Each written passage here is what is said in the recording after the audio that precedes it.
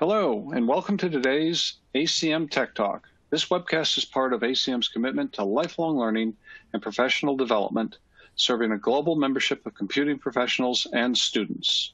I'm Dr. Bradley Jensen, a principal data scientist and architect in the Data and Analytics Division at Centric Consulting. I'm also president of the board of directors for the Institute for Certification of Computing Professionals and a member of the ACM Professional Development Committee. For more on my background, check out the bio widget that's on your screen. For those of you who may be unfamiliar with ACM or what it has to offer, here is some additional information. ACM offers educational and professional development resources that, bolster, that bolster skills and enhance career opportunities. Our members can stay competitive in the constantly changing world of computing with a wide range of ACM Learning Center resources at learning.acm.org. You can see some of the highlights on your screen. ACM also recognizes the role of computing in driving innovations that sustain competitiveness in a global environment. ACM provides things like access to the ACM Digital Library, which is the world's most comprehensive database of computing literature, leading publications and global conferences that draw top experts on a broad spectrum of computing topics, support for education and research, including curriculum development, teacher training, the ACM Turing and ACM Prize in Computing Words, Awards, excuse me, and the ACM Code of Ethics, a collection of principles and guidelines that, that are designed to help computing professionals make ethically responsible decisions in professional practice. ACM also enables its members to solve critical problems using new technology that enriches our lives and advances our social society in the digital age. Now, before we get started, I'd like to quickly mention a few of our housekeeping items that are shown on the slide in front of you. If you are experiencing any problems with the slides or audio, refresh your browser or close and relaunch the presentation. If you have questions during this talk, please type them into the Q&A box at the time and click the submit button. I'll organize these questions as Scott speaks and we'll try to get as many of them answered as possible after Scott's presentation. Actually, if you do have questions and they're pertinent at the time, I will try and interrupt Scott and get him to answer them at the time. So go ahead and just enter them as you're going through, and I will determine if we can answer them then or there later. Session is being recorded and will be archived. You'll receive an automatic email notification after it's done when this becomes available, and you can check learning.acm.org for any updates on this and other upcoming webcasts. Also, at the end of this presentation, you'll see a survey open up on your screen. Please take a minute to fill it out so that you can help us improve our tech talks. You may also open the link to the survey at any time from the resources window. You can use the widgets on the bottom panel to share the presentation link with your friends, as well as tweet comments and questions using hashtag ACM Learning. We'll be watching for your tweets. We also have a community discourse page to continue the discussion after this webcast, including questions we won't be able to get through during the Q&A session.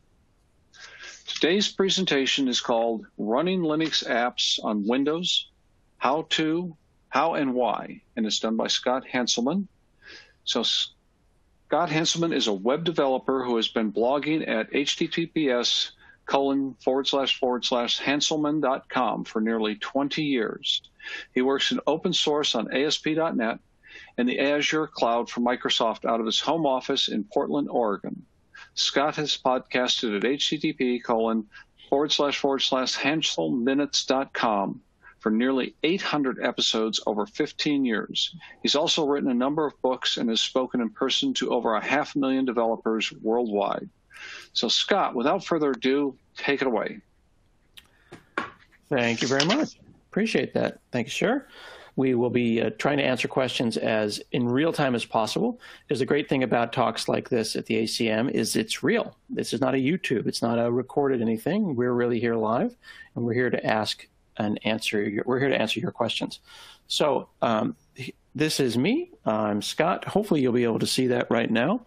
Uh, you can go to hanselman.com and learn about uh, what I've been doing for a long time. I'm a big fan of blogging. Uh, as uh, Dr. Bradley there uh, mentioned, I have been blogging for 20 plus years. It's a thing that I do because I feel strongly about where my keystrokes go. I think that there's a finite number of keystrokes left in your hands before you die. So when questions come to me, I blog about them. And uh, a lot of the things that I'll be talking about today are available up on the blog. And if you go up to my blog, and I'm just going to scroll while I'm talking here and just show you that the, the benefits of typing in a blog or somewhere where a URL that you own as opposed to putting it in social media uh, is very much something that is additive. Email is where keystrokes go to die, so I just tend to type things up. So if anyone does go and send me any questions, I will go and uh, probably blog about them. Check out the blog for some details. And then one other thing I want to point out is that I have a uh, podcast called Hanselminutes. And again, 800 plus episodes, including some that we've done in partnership with the ACM. Recently, we had Leslie Lamport on uh, in association and partnership with the ACM Bytecast. So we actually did a podcast and published it in two locations, two locations. So that was pretty cool. So, what we're going to talk about today is uh, what's been going on in Windows, with the context being Linux specifically. So, I'm going to use Notepad here to just give you a little bit of information here. So, I happen to be running Windows 11, but the stuff that I'm showing is not specific to Windows uh, 11.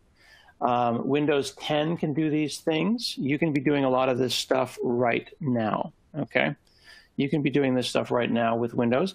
Uh, you'll be able to do more things with Windows 10, what's called insiders. You can go and sign up for Windows 10 insiders. That will give you the GUI support that we're going to be discussing. But the thing I'm going to be talking about today, which is WSL, the Windows subsystem for Linux, has been around for a couple of years now and is actually quite mature and is uh, is, is released. So everything I'm talking about is released until I talk about the GUI support, which is called WSLG. Let's back up and get a little bit of context about a few other things that might have uh, you might have missed because uh, some folks that may not be using Windows may not be familiar with some of the things that we've been doing. Um, right now, I am inside of the Windows terminal, and the Windows terminal is a new open source terminal. It's going to be what's called the inbox terminal. It's going to be available in the box, so you'll have the uh, the Windows terminal available to you in Windows out of the box, and it is uh, a replacement for the original Windows console. And it's important to point out that the Windows console uh, is uh, historically a very old thing. And I'm actually going to go in here and show you a choice where I can set the default terminal application. There's the original Windows console host, and then there's the Windows terminal. And I'm going to show you the difference between them. And then we're going to talk about terminals versus shells. Traditionally, over the last 30 plus years, You've probably thought about this console when you think about uh, Windows and the uh, layout, the properties dialog box here that comes with the original console host looks like Windows 95. It really hasn't changed in many, many years. Okay. Um, and what's going on here is a couple of things. We've got the, the kind of the DOS prompt. It's DOS-like. It's the command prompt we have the terminal, which is this part. This is the part that is, oops, hang on. I think we've, there we go. This part here, the console host that painted the Chrome, and then the prompt and the shell itself. People tend to conflate these things, and that can be somewhat problematic. We don't want to do that having a little bit of a challenge here with the, uh, there we go, with the screen sharing. And I've written a blog about shells, prompts, and terminals. And I just want to make sure that we're clear about that uh, because folks tend to, um, to conflate them. And the blog post is the difference between them. There we go historical context here is important because I see in the in the in the comments here, like Michael Brady makes a comment. He says, "Well, terminal is that the new command window? Where does PowerShell fit in?" This is a great question. This is kind of the classic question, but we have to remember that a console, a terminal, and a shell are all being conflated. Terminal, of course, comes from that original word terminate, and then the, the, the, terminal end of something. And originally, terminals were typewriters at the end of something, a teletypewriter or a TTY. So a terminal might just be some output and some input that's on the terminal end of something. Uh, and then in the context of Windows, a terminal is going to be that software version of the terminal end of something. And then when you put that inside of a console, like this console, uh, that is a different thing. And then the shell, of which you have dozens and dozens and dozens of choices, is also optional and uh, and manageable. And then the prompt on top of that can be customized as well. So it's really common to say, well, is this DOS? Is this PowerShell? Is this all of the above? We have to separate the thing that makes the string from the thing that processes and paints the string. So we've got the shell, like PowerShell, like fish. We've got the prompt that actually printed out the dollar sign or the um, greater than sign. Then we've got the console host that painted stuff. So let's give an example. If I go and type dir slash s, we're going to see a lot of fast text happening really quickly. So we're printing out a directory. And it'll look a little choppy on your side because of the tool that we're using right now. But on the Windows side, that is synchronous, and the uh, the DOS box, that DOS box, is not responsible for painting. It's actually the console host that's doing the painting. And there's 30 years of history there. Um, if I, from this command line, type PowerShell, I'm now running a different shell, but I'm still within the same console window. There are other shells that I could potentially run from the command line. And if I type exit, now I'm back at, at, at, at DOS. If I type exit, then this, this leaves. If we return back over to Windows Terminal, which is an alternative console host, I can still run the Windows command prompt. I have a different shell. So the command prompt doesn't know that anything's changed. It's still taking strings, it's uh, painting, it's printing out strings rather, but now a different console host is responsible for actually rendering it. What we get here with an all new console is the benefits of 30 years of, of positive history. We've got DirectX and we've got the ability to paint directly to the screen and paint asynchronously, and I can do hundreds of frames a second. So now suddenly, this, this C written free open source terminal is a lot more flexible, a lot more powerful, and supports a lot more stuff. You can see that the menu here, I can also add all these different shells to it. So Windows Terminal is actually a terminal, not a prompt. It's not a replacement shell. Any shell you already have works with it. It may feel that I took a while to get to the point there, but it's important for us to understand the difference between consoles, shells, and terminals. So, for example, you might use Python, you might use Anaconda, you might use Bash or Fish or PowerShell or Console or 4DOS or whatever. All of them will work here, and they'll all work just fine. It just needs to be set up as a potential prompt. So, for example, I was doing a talk recently, and a gentleman named Jack said he wanted to use the Python prompt. So I added Python here custom as a menu item. And all that's going to do when I click on it is run Python. And Python is a console app that returns a string and takes a string, right? And outputs it. And it doesn't know that the Windows terminal is doing that work there. Okay. And that's allowing us a lot of flexibility. I could additionally fill this menu up with uh, endpoints that I can SSH into. I can use things like Git Bash or Mono and things like that. We're going to talk about WLinux and uh, Ubuntu and all those things as well. And then additional custom prompts that I may have set up with my own environment variables, I'll have uh, as well. Okay. So uh, the console and the terminal, they seem to be identical. This is a great point. So let's just bring them up next to each other to make sure that we're clear. Again, even Microsoft is conflating the words sometimes. And uh, it's easy for even me to make that mistake. So if I go and bring up the original console, you're going to see two black windows. Here's the console host, and here's Windows Terminal. This console host is responsible for painting this area here. It's responsible for font rendering, and it's responsible for this dialog box by which I can pick fonts and layouts and things like that. Okay. Over here in the Windows terminal, you might say, oh, it's another black square box. But this one can include a lot of customization. You see, I put the Ubuntu logo in the corner here. I've got custom colors, fonts, ligatures. There's another logo in the corner. I've got this drop down menu. This command palette is available. So I can go like this and open up a command palette, much like Visual Studio Code. So it's a lot, lot different. And it's, again, free, open source, and will be coming out of the box uh, as well. This terminal, a question here from uh, Carl from Tulane is saying, does it maintain host state? This terminal doesn't care about those kind of things. So if I were to try to reconnect to an existing uh, host, that's up to that host to maintain uh, maintain that state.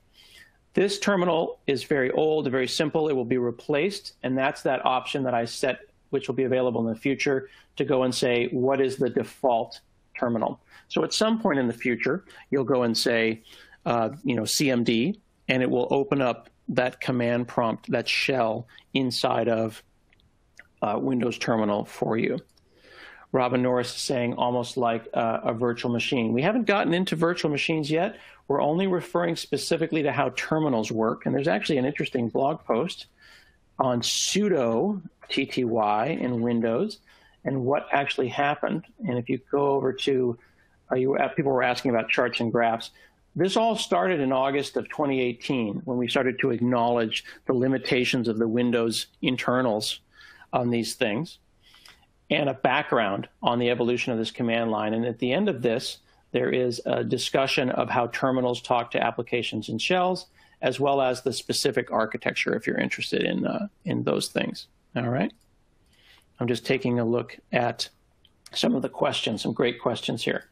Uh, one of the comments was in the old days, uh, like a few months ago, uh, if you wanted to edit your settings, uh, you had to edit a JSON file. That is uh, still the backing store. So, for example, if I go into Visual Studio Code and I look at my JSON file, you can see here the settings for my terminal, like binding Control C to copy question that we have here from David Drenow is saying it used to require a JSON file. Yes, it, it used to, but there is now a wonderful settings dialog, and you can go and manage appearance, and it will serialize to JSON, and then you don't actually have to uh, to look at that. So both JSON is available, and uh, the settings are available as well. So you don't have to uh, to do that.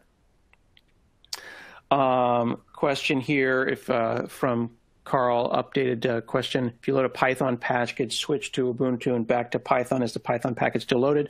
It's up to you to decide if you connected to, like, for example, two Ubuntus at, at once. If I have one Ubuntu and then I have another one split screen, and I, you know, if I do a Python pip over here, yes, as long as they're within the same context, they will be there. But in this Python, I'm in Windows, and this one, I'm in Linux, and I haven't gotten into that yet uh, we'll get into this. It sounds like uh, folks are wanting me to get more into the Linux stuff. A lot of questions here about terminal.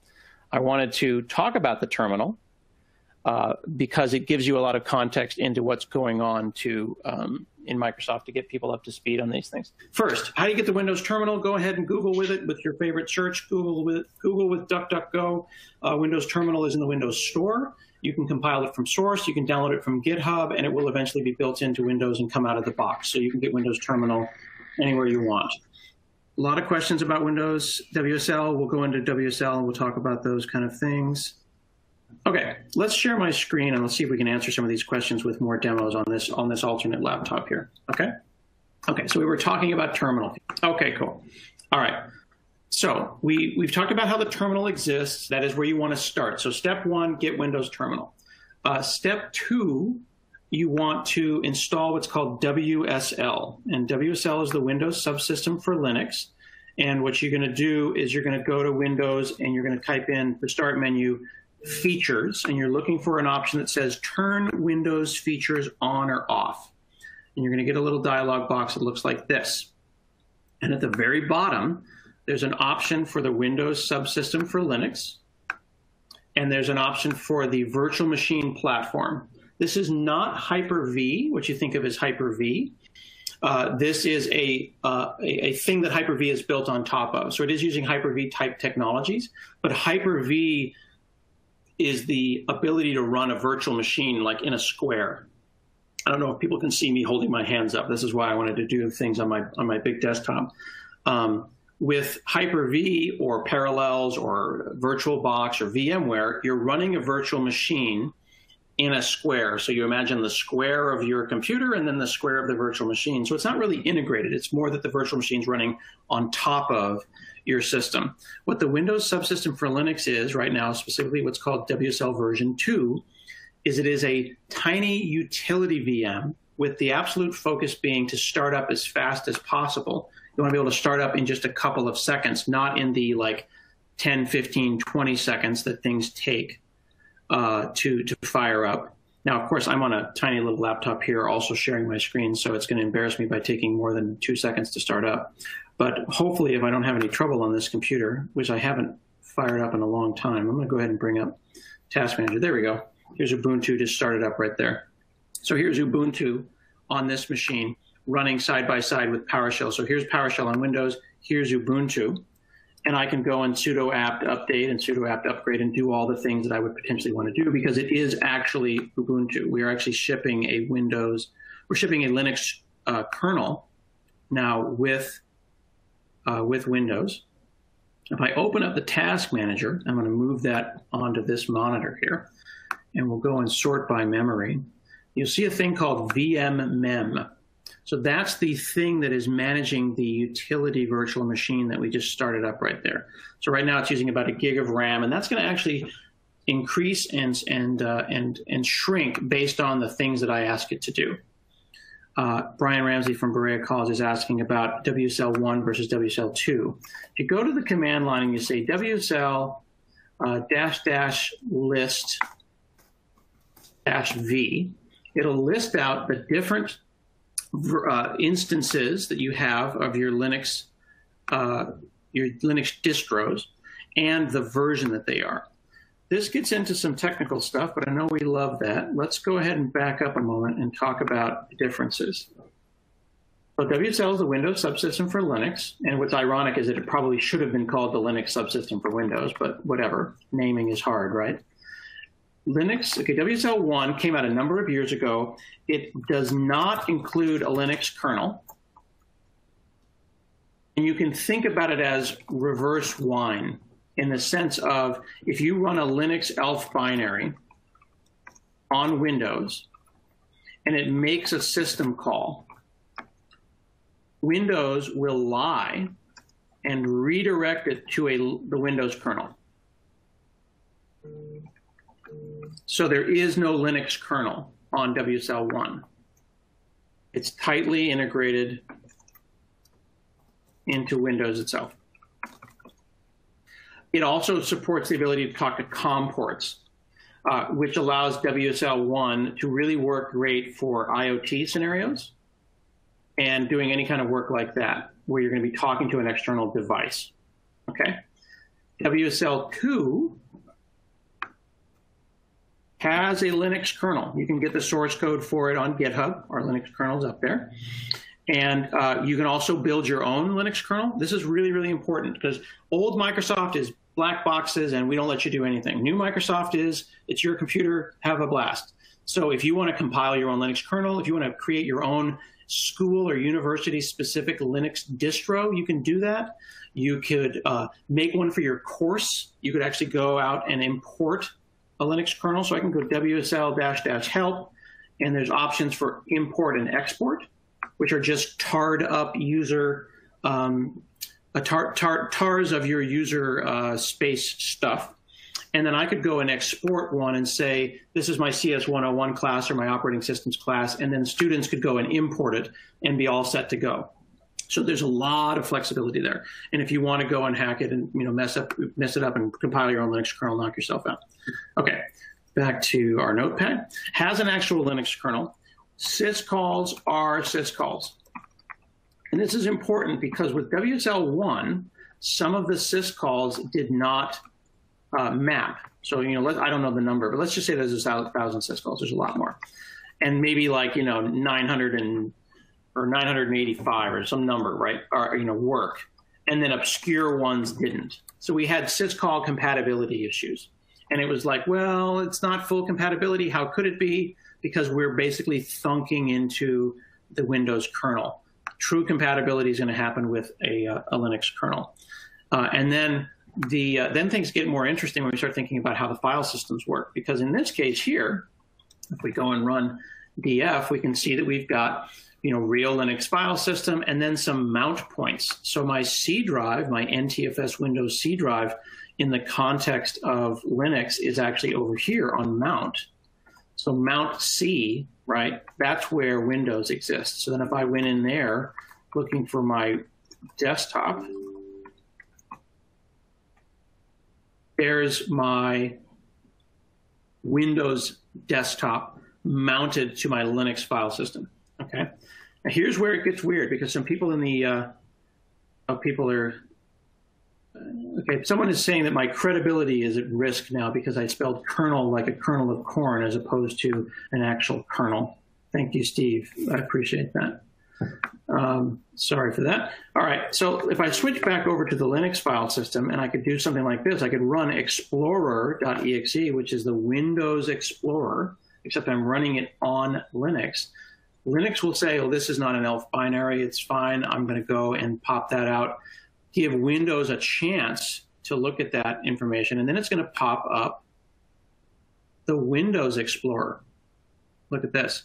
So I just ran the Windows Explorer from Linux, which is allowing me then to explore my Linux file system. And of course, the way that that's being done is through a tricky network. It's wsl.localhost, and we've got an actual Plan 9 server right there that um, is uh, is giving us that ability. So this is pretty cool. All right. So here, I can go and use my Windows Explorer to get my Linux file system. Uh, if I wanted to go and open up, you know, let's say, um, let's look at our hidden files here. Let's look at my profile. If I said notepad.exe and brought up like my profile, we bring that up. We also updated Notepad to support Unix line endings. So I'm able to do that. I can use whatever tool I choose to manage whatever I want to do. Isn't that nice?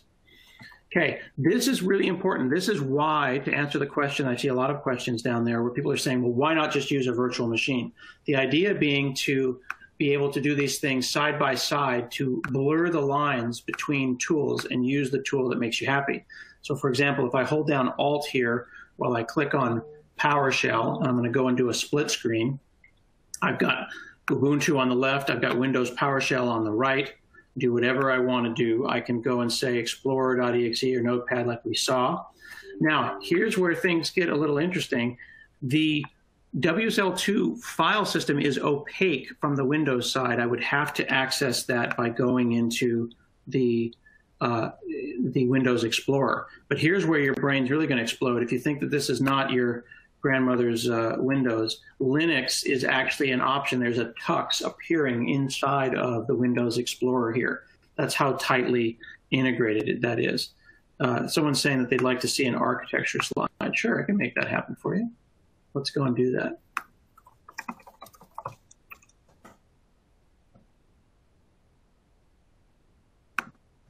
There's a discussion in the docs about the differences between uh, the WSL1 and WSL2 and specifically around file system perf. And there's a specific blog that I want to find that was written by a gentleman named Rich Turner that will give you your architectural stuff.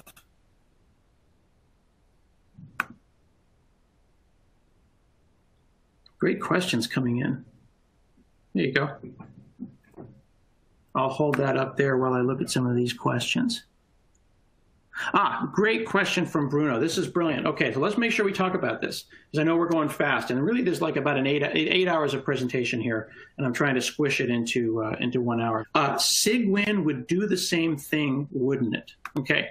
On its face, it might seem like that, but let's remind ourselves what Cygwin and MinGW and things like that are. Cygwin is not Linux right? It's GNU user mode utilities that have been recompiled, recompiled against the Windows kernel. the Windows, right? Win.h, right? This is about this is against Windows. So, see, and I got to spell kernel right because Steve's watching. So if I run Cygwin, I'm running not Bash. I'm running bash.exe. I'm running a, a, a portable C recompiled version of bash. I'm running ls.exe. I'm running grep.exe. They're not ELF binaries, right? They're MX binaries. They're Windows binaries. So that's a great question. So Cygwin, lovely tool that it is, gives you Bash on Windows. It gives you a Bashy like, it gives you a GNU tool, you know, toolkit, but it is not Linux. While WSL literally, literally gives you Linux on Windows. So uh, you can't run a an ELF binary under Cygwin. You can run your Bash scripts. Okay. Great question. Great question. Additionally, let's see if there's a couple of other demos that I can do here. Laura, Laura Michaels has a great analogy here. Cygwin is a POSIX layer for Windows, right? MinGW is a native compiler, and then there's MIDI-PIX, which is a better POSIX layer for Windows than Cygwin.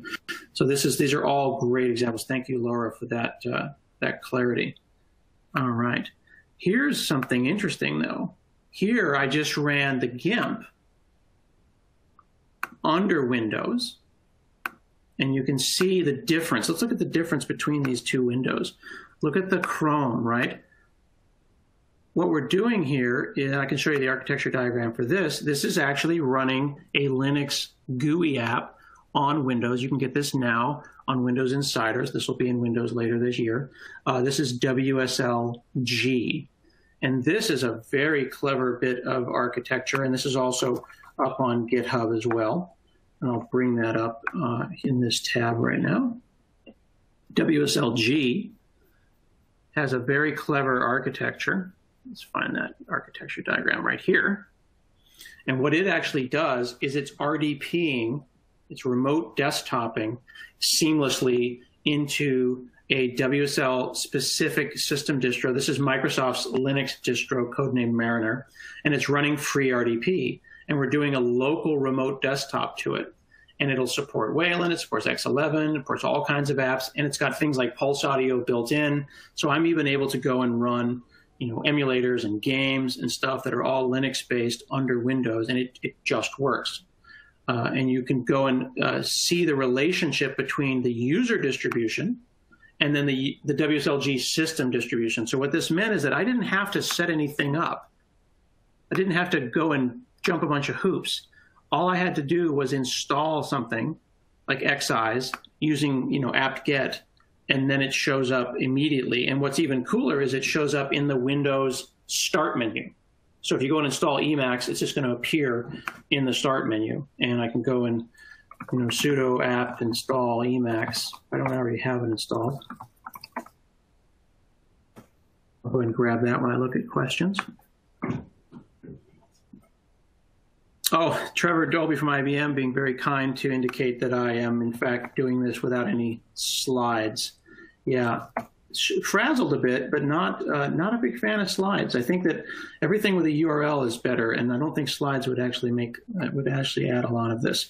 Ah, great question from Bill Katz saying, "Can WSL2 access the GPU?" Absolutely. There's some really interesting discussions up on uh, this site, uh, let me go and find you the WSL GPU blog as well that talks specifically about the architecture of WSL-G.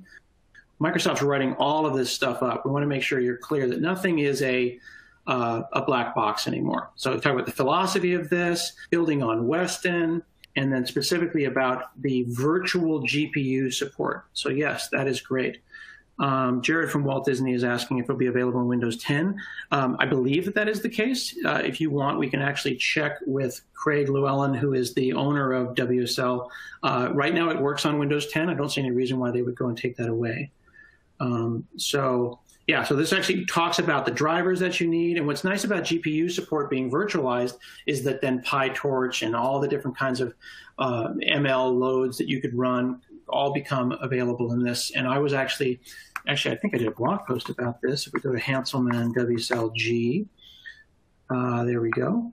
I wrote a blog post where I was running an emulator under WSL-G. Here's what the start menu looks like. basically everything just gets a little tux next to its face, and you can pin these to your software. So here's me running uh, a Wii, a Nintendo Wii emulator at 60 frames a second under WSL using my GPU. Okay, great questions here. Uh, Nuno, my buddy Nuno makes a great point here. If you want to get into the details, uh, one of the things that Nuno is pointing out, he's an expert. Nuno De, uh, is an expert on WSL and available on Twitter to ask and answer questions here. Talks about the launch configuration, specifically the uh, WSL conf file, which is a configuration that allows you to set memory. Oops to set up memory. There you go. So here, right here, we've got a WSL config file that says I'm going to limit the amount of memory and the number of processors on my uh, WSL, as well as if I want a custom Linux kernel of my own as well. You can use the inbox provided kernel or a, a custom Linux kernel that you have uh, created on yourself. Um, question here from Nishant is saying, is file system performance between WSL2 and native Linux? Uh, at the best of my knowledge and the best of my experience, it's within uh, single digit percentages as long as you're staying on the Linux file system. There is a considerable cross file system hit if you're on WSL and you're trying to talk to the Windows file system, then you're layering, you know, file system on a file system. You're hitting two different file system drivers on one computer. So if you're doing native work on native Linux, you're doing great uh, and you'll have minimal uh, minimal perf issues. Uh, again, Alexander is asking a question about the Linux kernel being swapped for another one. Absolutely. You can see right there, you can compile your own kernel uh, if it makes you happy. Um, oh, and this is great. So Stony Jackson's pointing out a question about Docker containers. Docker for Windows uses WSL. In fact, I've got blog posts about that it's specifically set up where the back end is being done to use WSL. So when you run containers on Windows, WSL is the engine behind that. So yes, you should actually absolutely end up doing that, which is great.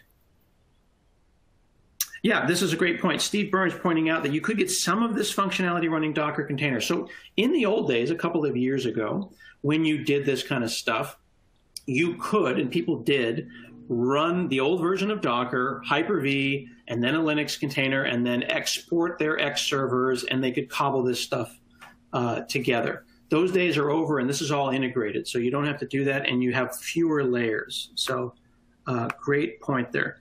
Do Linux apps appear in the task manager? Says asks Mina. Great question. WSL one Linux apps do. WSL two Linux apps do not they run in the context of this virtual machine. So they are opaque in the task manager. WSL1 doesn't use the Linux kernel, uses the Windows kernel. So they do appear in the task manager as what are called Pico processes. So you can see that, yeah. Uh, is saying uh, in VMware you can share Windows folders to be used inside the Linux virtual machine. Uh, yeah, you can set custom mount points if you want and uh, use mount whatever. But as we do see a point here from uh, from Doug Crozier, who's pointing out that the cross file system performance penalty is really the only problem. If you really need cross file system performance specifically, you need Linux, except you want it to talk to the Windows file system. You want to use the Windows drive. But let me talk about a thing that makes that actually easier, which is significant. Let's go over here, back over to Ubuntu. Okay, we're on Home Scott and I'm going to go into a folder which is my podcast. So this is my podcast, and it's written in .NET, which is cross-platform and, and open source. Just have C Sharp happens to be my my uh, drug of choice. And here I'm using .NET version five. Okay, and um, ah, great question from Robert Terzi, who's saying, is uh, this a uh, uh an opaque ext4 file system and an image file on NTFS? Yes, it is. In fact, it's a VHD. Okay, great question. So I'm here in my application. I'm going to type code dot. We saw how we could type Notepad or Explorer, but I'm going to type code and watch for a moment. It says installing VS Code server. So on the server side, specifically on the Linux side, we just unpacked half of Visual Studio Code into a folder. Okay, but we launched Visual Studio Code in Windows. Okay, so when so Visual Studio Code in this context is a client server application. So this is not the X Windows version. This is not the Linux version of Visual Studio Code. This is the Windows version. Okay, and if I say file open file, notice that this is the Linux file system, the Linux file system. If I click show local, it's going to pop open the Windows file system.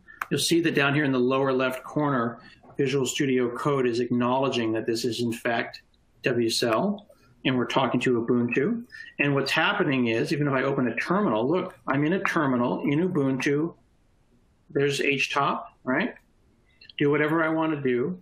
What this means is that the Visual Studio Code server will be doing all of the language services. So for example, if I open up some of my C sharp here, notice that I just got uh, some syntax highlighting there. If I go and make some space and start typing, notice that I'm getting IntelliSense, right? I'm getting IntelliSense and autocomplete. And when I do that and I hit, uh, I get to do that IntelliSense, these pop-ups here are coming from the server side. They're running over here. So if I run HTOP, you can actually see, I think I made a poor choice of colors here. There's the GIMP. Here you go. Here's VS Code server running in the background as a tiny local language server. Um, Carlos is asking a question. I want to avoid dual, dual booting because it's troublesome. Is WSL2 compatible with all Linux GUI-based apps? So far, I haven't had anything I haven't been able to run. If anyone has a suggestion on something I can just do a quick uh, apt install, uh, that would be fun. Let's actually go and do sudo apt install Emacs as I was doing before. Bring that in. W2, WSL2 available for Windows Server, not yet. Uh, this is primarily thought of as being a development tool because the acknowledgement is that people are developing on Windows for Linux containers for clouds that use Linux. So right now, uh, this is not a thing that is trying to replace Linux on the server. The intent would be if you want to run Linux on the server, run it on uh, run it on the server. Um, Moisha is asking the great the same Linux app would run quicker in WSL2 than in a Linux virtual machine, or the opposite. That depends. In this context here, if you're running uh, with your GPU virtualized and you have an application that's using Wayland or using some uh, OpenGL or something, yes, very likely it will run faster under WSL2 because they have better GPU support. It really depends on uh, how good your virtualization tool is, whether you're using Hyper-V or trying to use uh, something like VMware or VirtualBox, but then remembering that the newer versions of VMware and VirtualBox actually build on Hyper-V. Um, Janice is pointing out that they see all the Docker files are using Docker for Windows. How do I avoid Docker hanging in settings? I have not seen that, so let me run Docker desktop and see uh, what uh, Janice is talking about, and we'll see if we can figure that answer out here. Uh, is AIX or Solaris supported? No, right now everything is Linux based. This is a Linux solution. So you can use any Linux distribution. And in fact, if I open up the Windows Store, and I go and run, you know, look for Linux, I can bring down any any Linux distribution. There are custom ones like wLinux, which is a great um, Linux distro that's specifically for um, uh, for Windows. There's Ubuntu, there's OpenSUSE, you know, all kinds of choices. So we can uh, run whatever makes us happy. Uh, but as, again, we have to be under Linux. Here's Emacs, installed it, ran it, just ran not a problem. Do, do, do, do, do, looking through the questions. Hemant is saying that GPU drivers on NVIDIA have a lot of incompatibility. incompatibility. Windows NVIDIA GPU is a lot more stable. Uh, WSL alleviate Linux and GPU issues. Theoretically, yeah, that's the idea, right? Right now, the Linux, uh, the, the, GPU drivers on Windows are incredibly stable. Should not be an issue. So yeah, PyTorch, TensorFlow should work great. Can we use the Windows terminal to launch commands as admin with sudo? Right now, the, there's no formal way. There is a tool that I can't recommend called gsudo that will let you do things as sudo, but I can run Windows terminal as admin and then I can launch things. Um, Bill Katz is saying why why would W Linux be better than Ubuntu? Better is a uh, is is objective. It's subjective. Pardon me. WSL by the the Whitewater Foundry. I think it's called now Pengwin Linux. Pengwin with a W I N is basically they've gone and taken like Fedora and they've added a bunch of settings and specific user um, user binaries that are things Windows people would like, basically. So it's a Linux environment that was written given the fact that we know people would be on Windows. It's not a Microsoft thing. This is a third party. Um, it was basically the first Linux distro that was created specifically for WSL. So if you love Ubuntu, use Ubuntu. And the great part is that you can use as many of these as you want. That's what's so cool about this. You don't have to pick one. I can run n number of these side by side. You don't have to pick one. Absolutely use the one that makes you happy. You can install Alpine. You can install your own. Doesn't matter. Uh, can you run ML models with CUDA? Sure, absolutely. Um, oh, uh, one other thing that's really helpful. I use Tailscale. Some of the problems, some some issues with um, uh, with WSL and networking are a little bit confusing, and I use Tailscale to flatten my network into a mesh. And I've got a blog post about that as well. So if you go and search for Hanselman Tailscale, based on WireGuard, and that allows me to run services on WSL and then on my iPhone or my Android device, go and test my, my websites directly under there. Ooh, this is a great point from Paul Fisher, and I really love this point. Uh, can Windows batch files reference Linux command tools? Yes. There's, there's actually two questions here that Paul's asking. They say, can a Windows batch file reference Linux command line tools? You can from within something like PowerShell. I could go and say, dir and then pipe it through, this is dir in Windows, piping it through Linux, through grep, and then pipe that through more in Windows. So I can go back and forth and in between and do all kinds of things. So absolutely. But then you say, Paul, can you reference Linux command line tools like SSH? You can, but it's worth pointing out that SSH uh, already exists on Windows I always forget if it's which SSH. Oh, sorry, SSH, not SSL. There's which and then there's where. I always get my operating systems confused. There you go. OpenSSH is shipped with Windows for a number of years. Uh, so you can SSH on Windows now. The other thing that you can note is that you don't have to use PuTTY anymore if you just SSH from here. Uh, so there's no need to have your students install PuTTY. What hardware support does WSL2 use to make it so efficient? What is the process segregate? How does the process segregate the two OSs? It's using the VT extensions and the virtual extensions that have been available on processors for many years. So it's using Hyper-V and virtualization. So they are completely virtualized processes. Um, Robert is asking about external devices on other file system. What's the best way? No path, no pass through USB yet that I know about uh, but Plan 9 server does allow access uh, from Windows. Um, Candy's asking, is there a way to drop the existing VM and start a new one? Yeah, absolutely. Like you can go in here and WSL dash dash list dash V, and I could go and delete this one. I can add as many as I want. I can export it, start over, and absolutely uh, do it. Do anything I want. Someone's asking me to run xterm sudo apt install xterm. While I'm doing that, can I install PyMOL? Okay, do that too. Aren't we having fun here, my friends?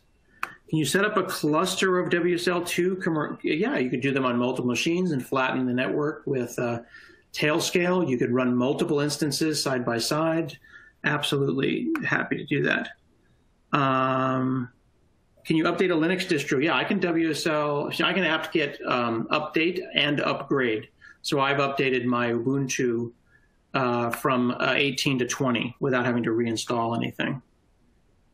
Uh, someone's asking for Xterm.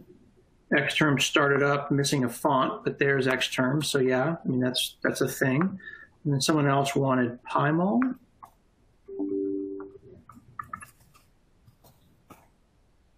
Oops. That's not P-mol, Pi-mol, Py-mol. grab that.